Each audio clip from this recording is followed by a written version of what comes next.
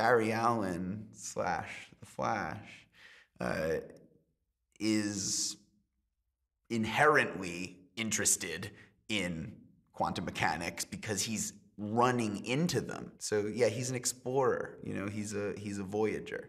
Uh, I think that's something that's made the Flash such an interesting character for all of its history. Is that it's someone who can run into our ideas about physics, about how the world works.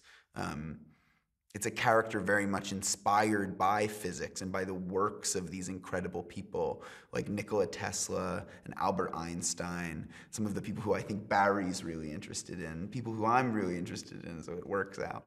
Where we find Barry in this film, it's the awakening. The powers are, are still fairly new to him.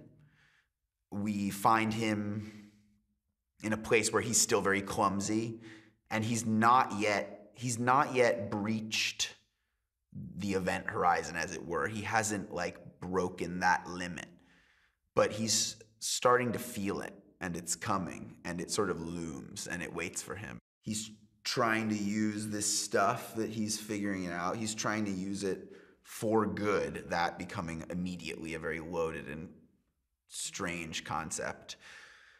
And he finds this group of people who are who are doing that. He's brought into this group of people and it's amazing for him. It's what he's always dreamed of um, and certainly that dream has intensified. You know he grew up a child Uh, with traumatic circumstances in the world of superheroes you're just waiting for those other superheroes to come and and recognize you. So I think that when it happens, you know, he's just so happy and thrilled.